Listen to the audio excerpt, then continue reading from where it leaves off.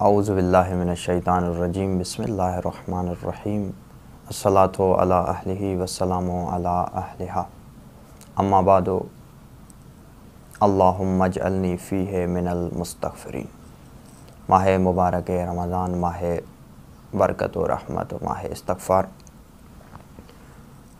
तो आज का हमारा मौजू माह रमज़ान और इस्तगफ़ार कि माह रमज़ान में सबसे अफजल जो अमल है, वो गुनाहों से दूरी इख्तियार करना है। और माह मुबारक रमज़ान में जो एक बेहतरीन अमल है, वो है इस्तगफ़ार, कि आप बहुत इस्तगफ़ार करें। अब सबसे पहले कि इस्तगफ़ार की क्या शर्त है? क्या हम तस्वीर लेकर बैठ जाएँ और उस पर अस्तफ़ल्ला रब्बी व अतूबिल अस्तफ़ल्ला रब्बी व अतूबिल करते रहें तो हमें खुदा बख्श देगा, या इस्तगफ़ार का कुछ अपना माना है, उसकी कुछ शराइ अपने अंदर रखता है।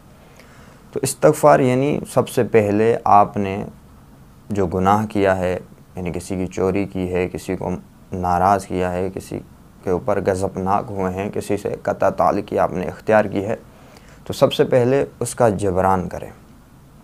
यानी अगर जिसकी चोरी की उसे चोरी वापस दे दें, जिसको नाराज़ किया है, उसे मना लें। यानी सबसे पहले जबरान करें, उसके बाद बारगाह खुदावंद मताल में जाएँ तो खुदावंद मताल आपको बख्श देगा। ये इस्तफ़ार की शर्त है कि सबसे पहले आप हक हक़ुन्नास अदा करें, उसके बाद फिर बार गए खुदा में आए तो खुदा ने मताल आपको माफ़ कर देगा।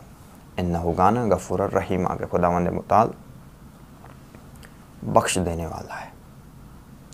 और इसी तरह इस्तफ़ार की क्या अहमियत है कि इमाम जाफ़र सदक अपने एक सहाबी, जिसका नाम ज़ुरारा था, कहा कि ज़ुरारा, जब कोई इंसान गुनाह करता है तो सुबह से लेकर मगरिब तक उसका गुनाह लिखा नहीं जाता कि खुदा ने मुताल कहता है हो सके कि मेरा बंदा इस दरमियान में इस्तगफ़ार करे। लेकिन अगर कोई इसी वक्त में इस्तगफ़ार ना करे तो फिर वो गुनाह लिख दिया जाता है। बस ये खुदा ने मुताल ने गुनाह हमें दिया है। बोनस की तौर पर अगर गुनाह हो जाता है ना चाहते हुए, शैतान हमें गुमराह कर देता है तो वो गुनाह लिखा नहीं जाता। चंद घंटे के लिए, ताकि ये इंसान इस्तगफ़ार करे, इसका ज़मीर इसको झंझोड़े, इसको ज़मीर इसको मलामत करे, ताकि ये इस्तगफ़ार करे और खुदा मताल कहता है फिर मैं इसे माफ़ कर दूँ। और इस्तगफ़ार एक ऐसा अमल है कि इंसान इस इस्तगफ़ार के ज़रिए हर मुश्किल, हर परेशानी से नजात हासिल कर सकता है कि इमाम की खिदमत में एक शख्स आया, कहा, मौला, मैं परेशान हूँ माल और दौलत नहीं है, तंग दस्त हूँ। तो इमाम ने फरमाया कि आप ज़्यादा इस्तगफ़ार करो। इसी तरह फिर दूसरा शख्स आया, कहा, मौला, मेरी शादी नहीं हुई है मुश्किल हैं, शादी नहीं हो रही है।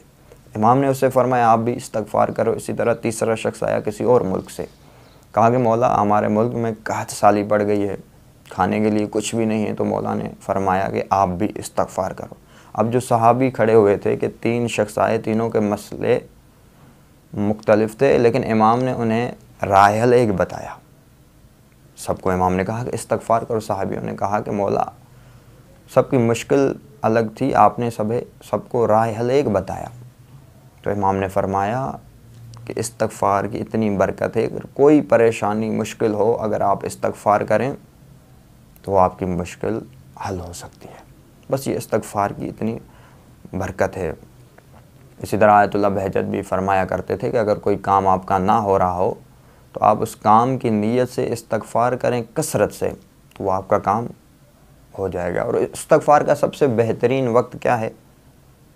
इस्तगफ़ार के लिए बेहतरीन दिन माह रमज़ान मुबारक के दिन है और इस माह इस्तगफ़ार का जो बेहतरीन वक्त है, नमाज़ शब में, आखिरी रकत में, दुआ कनूत में, सत्तर मरतबा इस्तगफ़ार करना। अगर इंसान तहजद अदा करे और उसमें सत्तर मरतबा इस्तगफ़ार करे तो ये इंसान गुनाहों से पाक हो जाता है।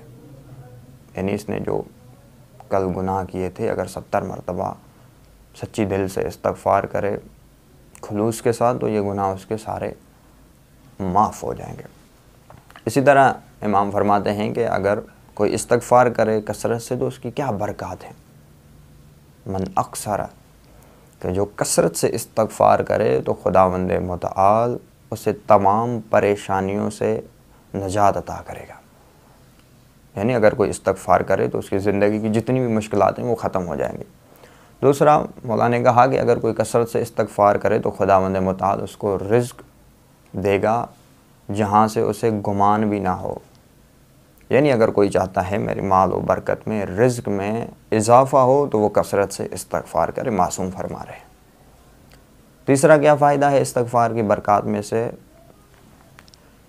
कि अगर कोई कसरत से इस्तगफ़ार करे तो खुदा ने मुताल उसको हर खौफ से अमान देगा। देखते हैं ना कि हम किसी वाक्य को सुनकर या किसी चीज़ को देखकर डर जाते हैं। लेकिन जो ओलिया इलाही होते हैं, उन्हें कोई खौफ और डर नहीं होता। ला खौफन अलहम, उन्हें कोई भी खौफ नहीं होता।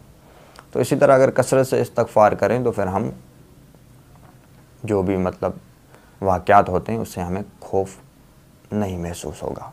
ये इस्तगफ़ार की बरक़ात में से हैं। बस हमें चाहिए कि इस माह में इस्तगफ़ार करें और इस माह से भरपूर इस्तफ़ादा करें। वसलम वरहमल वर्का